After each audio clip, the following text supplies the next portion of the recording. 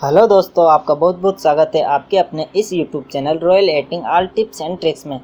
इस बैकग्राउंड का लिंक मैंने दे दिया है डिस्क्रिप्शन में, आप जाकर सिंपली वहाँ से डाउनलोड कर सकते हैं। चलिए दोस्तों, शुरू करते हैं।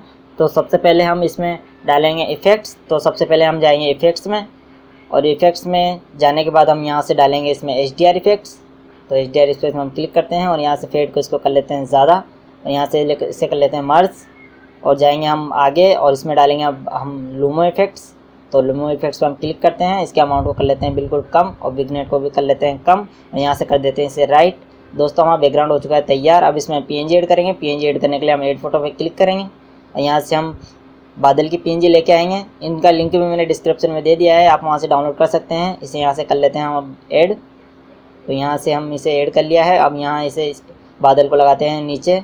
तो यहाँ अच्छे से इसे कर लेते हैं सेट। इसे भी यहाँ थोड़ा नीचे लगा देते हैं और यहाँ से इसको बीच में लगा देते हैं और इसे थोड़ा बड़ा करके लगा देते हैं। अब जाएँगे हम वापस एड फ़ोटो पे और एक और बादल की पी लेके आएँगे।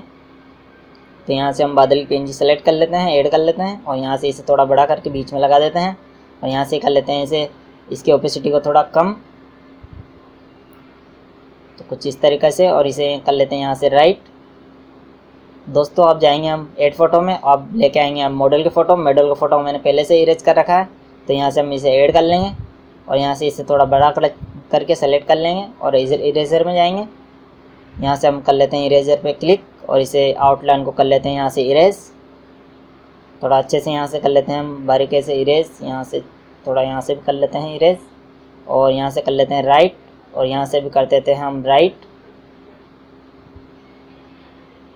तो दोस्तों हम जाएँगे अब एड फ़ोटो में और यहाँ से एक और बादल की पीएनजी लेके आएँगे। और इस मॉडल के ऊपर लगाना है हमें पीएनजी तो यहाँ से कर लेंगे हम इसे ऐड तो यहाँ से इसे हम ऐड कर लेते हैं, थोड़ा बड़ा करके, इसकी ओपेसिटी को कर लेते हैं कम।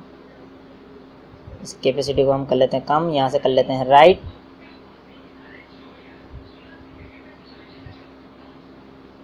दोस्तों हम जाएँगे अब टूल्स में तो टूल्स में हम क्लिक करते हैं।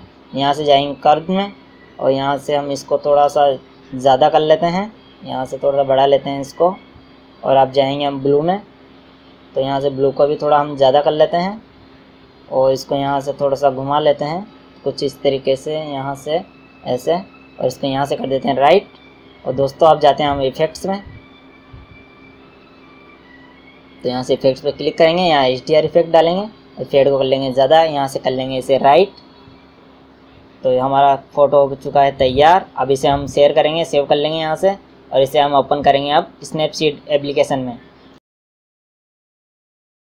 दोस्तों स्नैपसीड में मैंने फ़ोटो कर लिया है ओपन पेन टूल पे क्लिक करेंगे टू न्यू इमेज में जाएँगे और यहाँ से इसकी ब्राइटनेस को बढ़ा लेंगे। कॉन्ट्रास्ट को थोड़ा सा बढ़ा लेते हैं सेलेक्ट थोड़ा सा ज़्यादा कर लेते हैं। तो यहाँ से इसको देख लेते हैं ब्राइटनेस को थोड़ा कम शेडोज़ को थोड़ा ज़्यादा। यहाँ से कर लेते हैं राइट अब जाएँगे पेन पे, वापस सिलेक्शन पे जाएँगे। अब हमें ब्राइट करना है चेहरा तो यहाँ पर चेहरे का कलर हम सेलेक्ट करते हैं और यहाँ से थोड़ा ब्राइट कर लेते हैं।